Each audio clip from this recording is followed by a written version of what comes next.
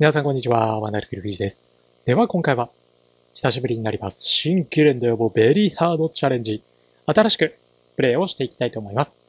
ニューゲームから、今回、チャレンジしていく、ベリーハードのシナリオを選んでいきましょう。レビル将軍をやっていきます。今までレビル将軍はイージーしかクリアしていないので、まあ、このベリーハード、恐ろしい難易度になってるんじゃないかなとまあ、あの、怖くもあり、楽しみでもありというところですね。では、始めていきましょう。ベリーハードです。ベリーハードになってますので、えー、まあ、いくつかですね、強キャラ、あ強ユニットを歴史回流させていこうと思うんですけども、今回はガンダムチームっていうコンセプトでやろうかなと思ってまして、まずは、ゼータガンダムとカミユですね。まあ、すでにカミユなんかは、ニュータイプ、初期ニュータイプではありますけども、能力としては持ってますので、まあ、しっかり育てていきたいですよね。そして同じくガンダムチームとしてダブルゼータの柔道。まあ、この柔道も、まあ、初期ニュータイプですけども、もうすでにニュータイプ能力持ってますね。で、あとはですね、ハサウェイことマフティーですね。マフティーは残念ながらあの、ユニットはね、もう排入ガンダムとかしかないので、これをさらに介入させるポイントは持っていないので、まあ、キャラクターだけ入れます。同じく、バナージュもキャラクターだけ入れます。こんな感じですね。まあ、いずれにしてもですね、ゼータガンダムとダブルゼータ、この2つのユニットが攻略に大きく関わる影響力のあるユニットになると思いますので、しっかり使いこなしていきましょう。まあ、これにね、アムロと合わせて5人の、まあ、歴代ガンダムオールスターパイロットチームのような形でプレイをしていければいいかなと思っています。では、これで始めていきます。まずは、オープニング、皆さんと一緒に見ていきたいと思います。宇宙世紀0079 1月3日スペースコロニーサイド3はジオン公国を名乗り地球連邦政府に対し宣戦を布告後に一年戦争と呼ばれる戦いの始まりである。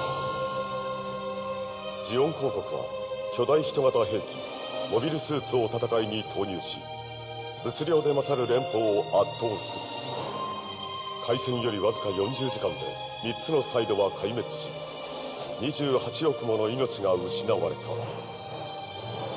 だがこの凄惨な殺戮劇もジオンの真の目的の前では単なる儒脚でしかなかったのである。ジオンは空前絶後の計画を実行に移した。スペースコロニーを強大な弾頭に見立て地上に落下させようというのだ。目標は南米連邦軍本部ジャブド落下する頃には連邦軍の必死の抵抗にあり大気圏突入後に崩壊。大きくコースを外れてしまう。ジオンは作戦の失敗を挽回すべくサイド5ルームに対し攻撃を開始。一方連邦はレビル将軍率いる宇宙艦隊をルナ2から発進させた。両軍の戦力比は3対1圧倒的に連邦軍が上回っていたしかしこの戦いはジオンの圧倒的勝利によって終結するモビルスーツの威力を前に連邦艦隊はただなすすべもなく撃破されている。連邦軍の機関アナンケの中から激しい戦闘により大破し脱出を試みたレビル将軍もジオンの捕虜となってしまうのだ。ジオン政府はルームでの華々しい戦果を武器に連邦政府に対し休戦条約を申し入れる敗北を喫し疲弊した連邦にとってそれを断る気力はもうなかったかに見え。たジオンが提示した休戦条約は連邦に対する事実上の降伏勧告であった。連邦に戦争を継続する力はもう残っておらずこの条約の受け入れもやむなしと思われた。時奇跡は起こった。捕虜として収容されていたレビル将軍がジオン本国を脱出し帰還したのである。そしてサイド3で目撃したジオンの苦しい内情を暴露し戦争の継続を訴えたのである。この演説によって連邦軍首脳は戦争の継続を決意する。結局この日は軍事条約の締結のみにとどまりジオン公国は地球侵攻作戦を決定。戦場は宇宙から地上へと拡大していくのである。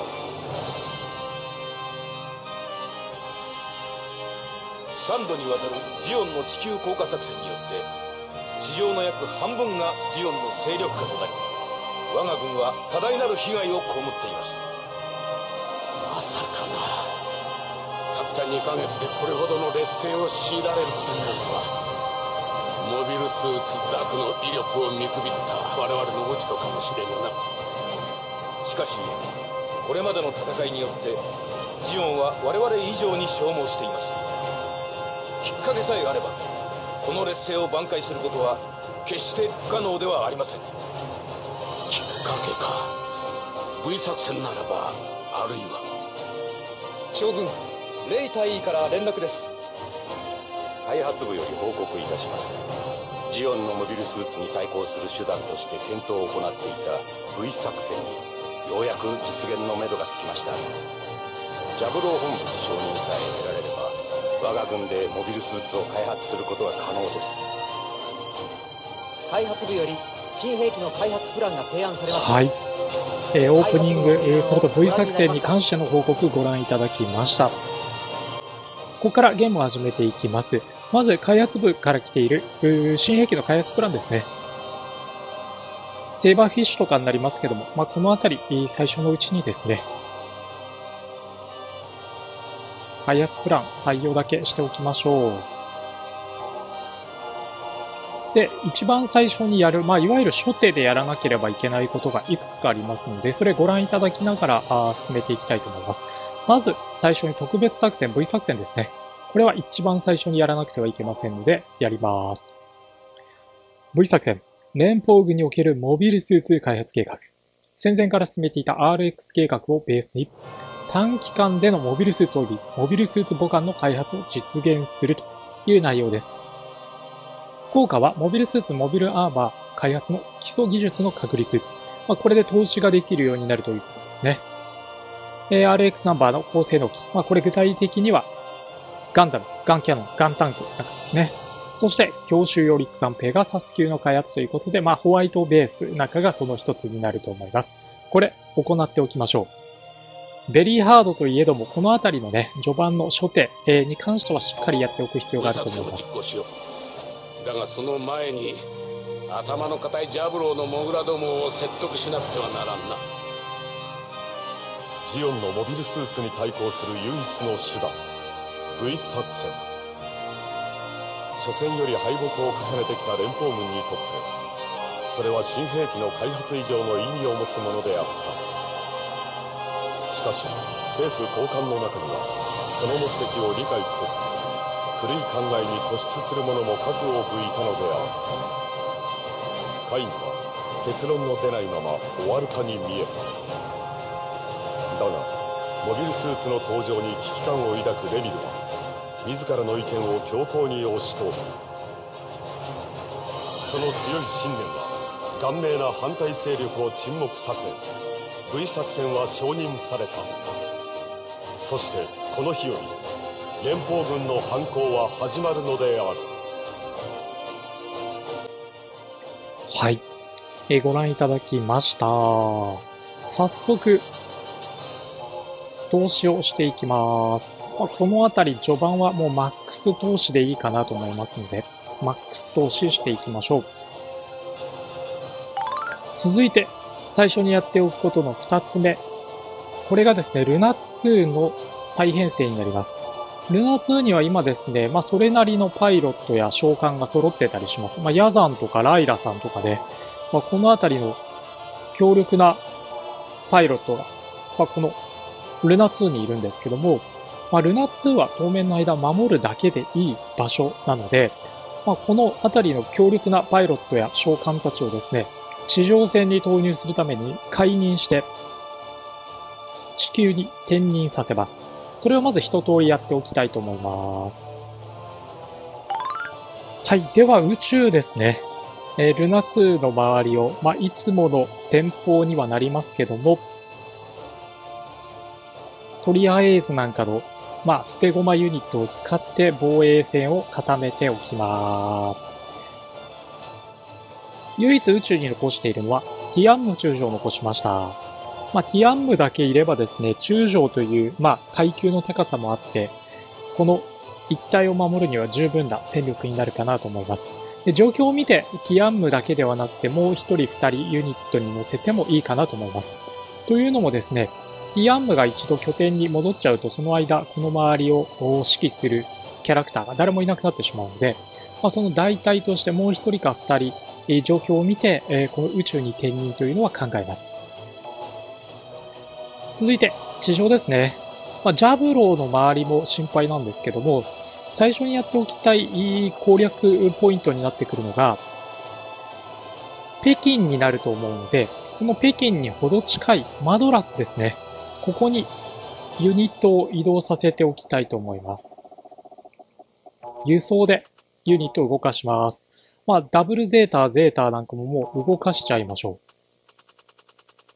潜水艦、このあたりもね、もう思い切って、全部、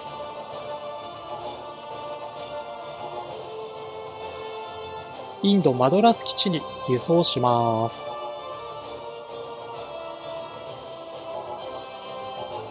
で、当然このジャブローが落とされると終わってしまうので、ここは防衛用のユニットを生産しておきます。あ、フライマンタでもいいかな。お金に余裕のあるうちはフライマンタを作って、フライマンタで防衛線作りましょう。で、同じくここ、ベルファストですね。ここも、潜水艦なんかは全部、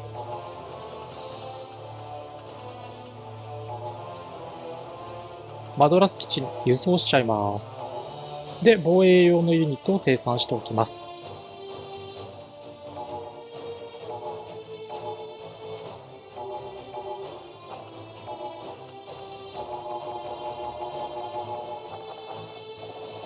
これでマドラス基地に部隊を移動完了したらですね、え時期を待って北京攻略に着手していくということで、まあ、初手でやっておきたい内容はあ一通り完了になりますので、ターンを進めます。報告しますジオンのモビルスーツに対抗する手段を手に入れたことによって我が軍は北京を攻略することが可能です北京攻略作戦を提案します早速、北京攻略作戦来ましたね。北京攻略作戦はすぐにでも発動して周辺のお制圧、うさらにそれに続いて北京地帯のね、攻略戦も始めていきたいというふうに思います。今来た開発プランは早速倍額投資してでも作っちゃいましょう。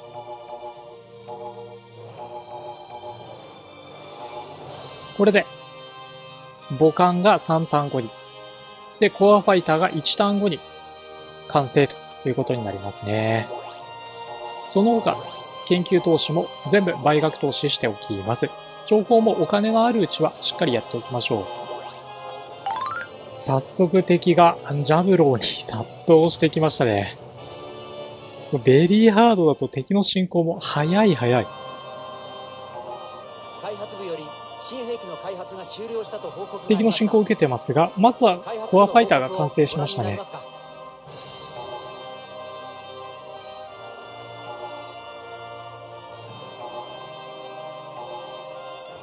続いて開発プランも確認をしていきましょう。開発部の提案をご覧になりますか？これはガンタンクですね。ガンタンクも倍額投資してさっさと開発終わらせましょう。で、容量は同じですね。ここもマックス投資していきます。では進行してきたまず敵部隊の迎撃態勢確認して増強しておきましょう。まあ、コアファイターなんかもこの時点である程度使っちゃってもいいかなとは思いますね。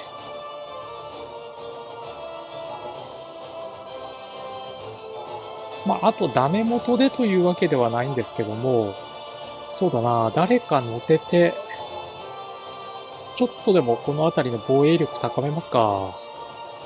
まレビル将軍の中にじゃあ乗ってもらいます。コアファイターにレビル将軍が乗るっていうね。またこれはこれでちょっと面白い展開ではありますけども、この辺りに展開しておきましょう。これで指揮力を存分に発揮してくれるかなというふうには思いますね。では、まず、ゼータガンダムの神優、マドラスに到着してますので、出撃させていきます。ウェブライダーモードに変形してから、まあ、一気にね、強襲という形を柔道と共にやってもらいたいと思います。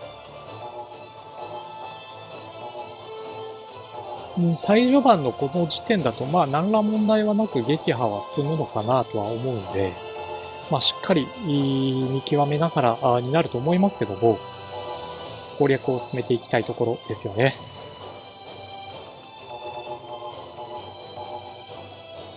で、その他、後発の部隊も順次発進していきます。ここは、柔道の G フォートレスですね。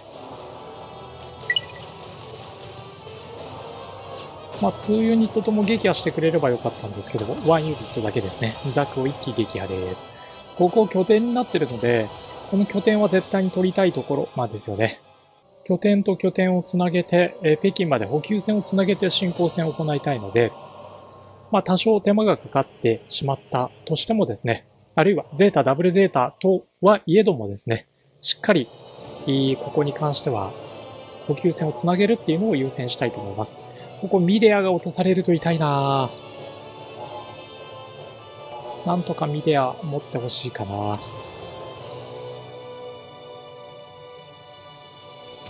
マチルダさんはしかも大丈夫ですね。カミーユもちょっとダメージ受けましたね、今ね。開発部より新兵器の開発が終了したと報告さあ、これガンタンクだと思います。確認しておきましょう。ガンタンク。完了してます。これでガンキャノンの開発プランが来ていると思いますので、それも確認していきましょう。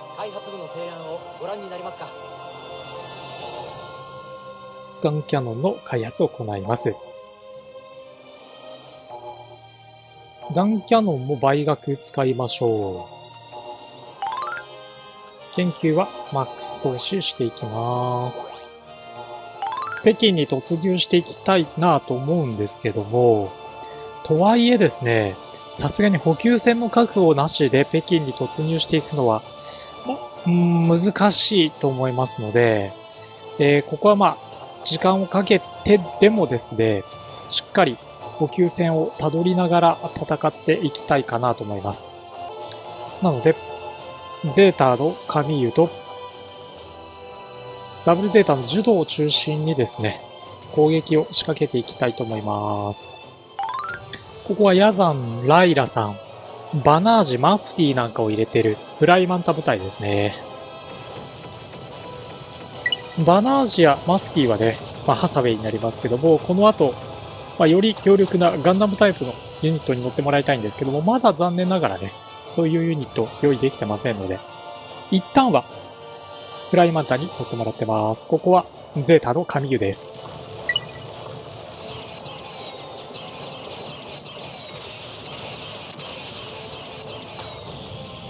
もうちょっと無双してくれると、まあ、神湯いいですけどね。4スタックのザク1、ザク2に対して、えー、まあ、3ユニット撃破というところです。ここがダブルゼータ、柔道です。5スタックですね、こっちはね。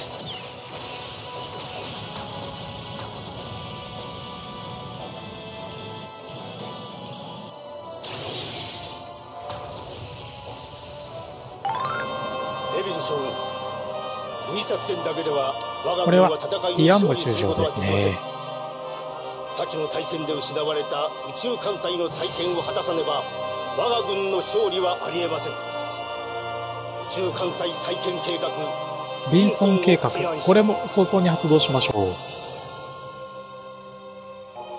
開発部よりさらに、これガンキャノンの開発完了だと思います。確認しておきます開。発部の報告をご覧になりますか？ペガサス級も完成してますね。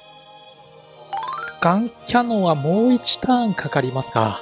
ガンキャノンに、そうだな、バナージ、えガンダムにマフティ、まあ、ハサウェイなんかを乗せるっていう構想で進めていきましょう。ここで、えー、本当にガンキャノンの開発完了だと思います。確認します。ガンキャノン完了ですね。そしたら、すかさずガンダム開発しちゃいましょう。開発部より新兵器の開発プランが提案されましたこれ、プロトタイプガンダムにまあ、マフティなりバナージュなりを乗せる。で、ガンダムにもう一つを乗せる。まあ、そういう作戦にしていきたいと思います。なので、まずは、プロトタイプガンダムね。これ倍額投資して、開発進めていきます。2ターン後に完了ですね。まあ、すごく楽しみなガンダムの登場を待つと。まあ、そういうタイミングだと思います。では、特別作戦、北京攻略作戦とビンソン計画ですね。2つ、発動していきます。これで北京に侵入できるようになりますし、えー宇宙艦隊の再編計画も同時に発動するという内容になります。諸君らの健闘に期待する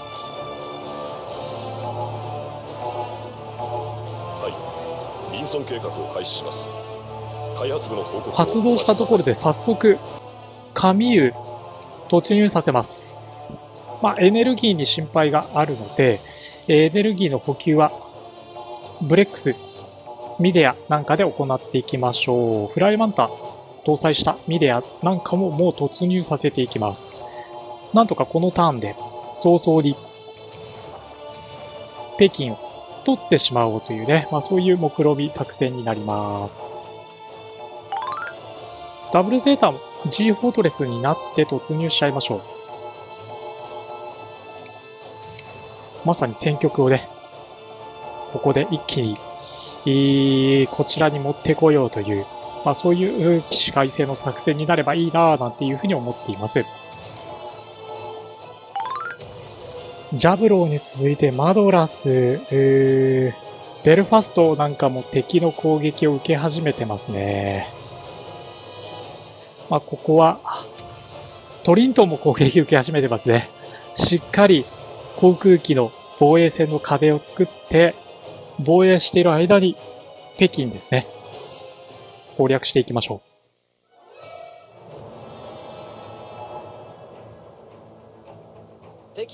に早速進んでいきまます攻。略戦を開始します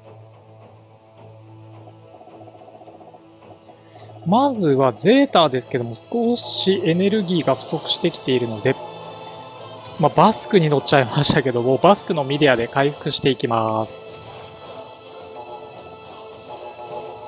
本当はね、ブレックスに乗せてあげたかったところですけどね。まあ、特に何か作戦らしい作戦はないと思いますので、このまま一気に敵の中心地を目指していきます。まあ、やっぱり肝になってくるのがゼータであり、ダブルゼータでありというところになりますので、補給だけね、しっかり行ってあげながら、無双状態に入ってくれればいいかなというふうには思います。ちょっと1ターンでの攻略は難しそうですね。下手したら、まあ3ターンぐらいかかってしまうかもしれないかなという情勢なんですけど、なんとか2ターンで攻略完了できるように、ゼータ、あカミユとね、ダブルゼータ、ジュド、これ、どんどん前に押し出させています。ネックになるのがやっぱりエネルギーですね。ここは、フライバンテが4機、まとめて、えー、撃破されてしまいましたね。さあ、ダブルゼータの柔道です。モビルスーツ6ユニット相手に、ダブルビームライフルなんかをぶっ放しながらどれだけ削れるかですけどね。残念ながら1ユニットのですね。まあ、敵が攻撃を仕掛けてきてくれて、それに格闘で返すっていう情勢になれば、あの、かなりのユニット数削れるので、まあ、あの、カウンター攻撃っていうものも、あの、狙いながらですね、進んでいきましょう。バナージも撃破されましたね。マチルダさんはちょっと持たなかったな。まあ、ミデアは貴重なユニットなので、できるだけね、守りながら失わないように使っていきたいところなんですが、残念ながら失ってしまいましたね。マドラスは敵の侵入を許してますが、この程度の数であれば撃退できると思いますので任せちゃいます。さて、新兵器の開発プランですね。これ、なんだろう？確認します。量産型ガンタンクですね。量産型ガンタンクは完全に戦車扱いになっているものです。そして、ボールですね。ボールは射程が長いので結構宇宙なんかでは使いやすいユニットなのかもしれないです。ではまた倍額投資しておきます。それと、新兵器の開発ですね。これも、まあ、一通り倍額投資しなくてもいいので行っておきます。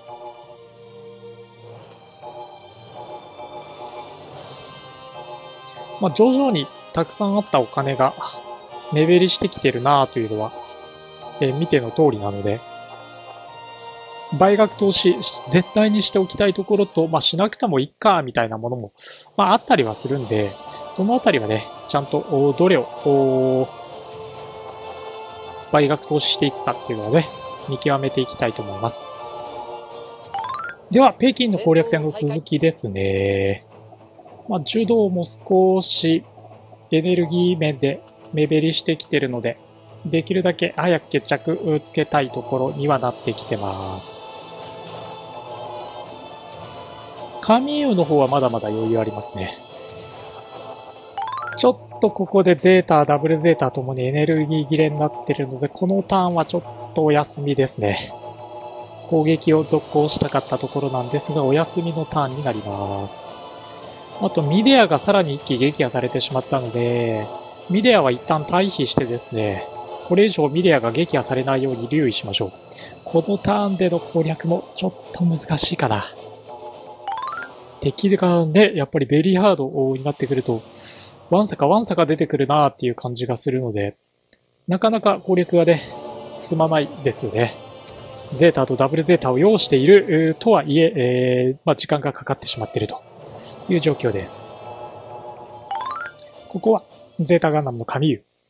6機、まあ、ザクキャノンなんかがいる6機相手に戦います。まあ、グレネードをぶっ放した後はビームライフルですね。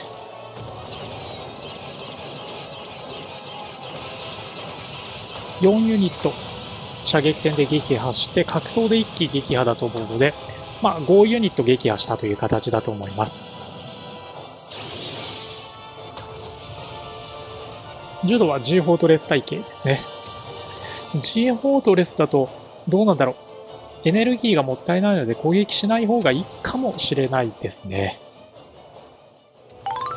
2ターン目での攻略もちょっと難しかったので3ターン目にもつれます。サイドセブンで行っていた新型モビルスーツの稼働テストは終了しました結果は良好ですぐにでの実戦投入は可能だとのことですこちらはガンタンクです。攻撃による前線部隊の援護を目的としガンキャノンですね。RX77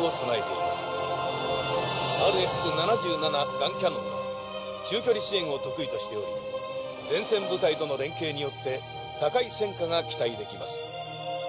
そして RX78 ガンダムは我が軍の技術の推移を結集して作り上げた多用途モビルスーツです多少の攻撃を跳ね返すウナシタリウム製の装甲とシールド。ハイパーバズーカ。ビームサーベルなどの強力な武装。戦艦並みの火力を持つビームライフル。稼働テストにおいてあらゆる点でザクの性能を上回る結果を記録しました。これらのモビルスーツが量産されるようになれば連邦の勝利は確実なものとなるでしょう。つて我々を苦しめたモビルスーツが今度はジオンを苦しめることになるこれが戦争だはい。これガンダムだと思います。確認しておきましょう。ついにガンダム、まあ、プロトタイプガンダムですけどね、完成しています。これには早速、そうだな、マフティーに先に乗ってもらいましょうか。で、えー正規のガンダムが来たら、あーそれはバナージに乗ってもらいましょう。陸戦ガンダムの提案もプランとして今来ていたのを確認できましたので、ここは陸戦ガンダムですね。倍額として、早々に生産体制に入りましょう。では、北京の攻略戦続きやっていきます。ここは柔道のダブルゼータがギャロップに攻撃を仕掛けるところですね。まあ、格闘まで入れば確実にギャロップ撃墜できると思います。できましたね。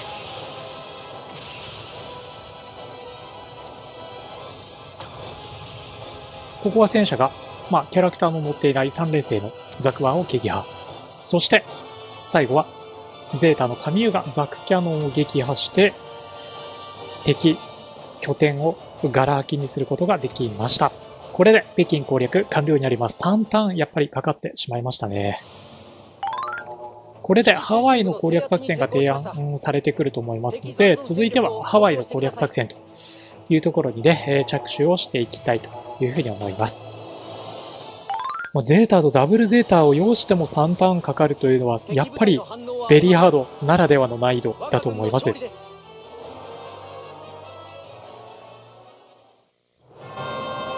作戦は終了しました。しかしその研究成果をジャブローに持ち帰らなければ V 作戦の目的は達成したことにはなりません。ペガサス級強襲揚陸艦この辺りからは、まあ、いわゆるアニメのガンダムのストーリーにね、入っていくところですね。先ほど申し上げたこれがハワイ攻略作戦提案来ました。ので、これも発動してハワイ攻略作戦始めていきましょう。報告します戦況が徐々に上向いてきたという、まあそういう流れですかね。はい。では、最初の目的、北京の攻略作戦終わりましたので、この後はですね、この勢いのまま、ハワイ攻略作戦に入っていきたいと思います。ちょっとね、時間かかってしまいましたので、スピードアップできるように頑張っていきましょう。では、今回はここまでにさせていただきます。